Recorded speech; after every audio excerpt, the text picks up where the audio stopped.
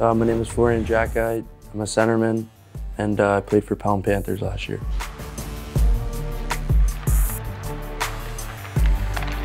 Yeah, well, watching games, uh, the atmosphere is unreal here, and uh, they're always very loud, and the crowd's into it, and uh, it's always great. Yeah, I guess watching them on the ice, like, you don't realize like how big the arena is and like how it looks from down um, skating on the ice. So uh, it was good to do that and looked bigger than when you're watching it. Uh, it's good. Everyone's great here and uh, very welcoming. And yeah, I played against a few guys on Team White, so uh, we've been talking on the bus. And yeah, oh yeah, like to gain experience and uh, taking all the no knowledge I can to become a better player. Just train really hard and um, be on the ice all the time and just get better.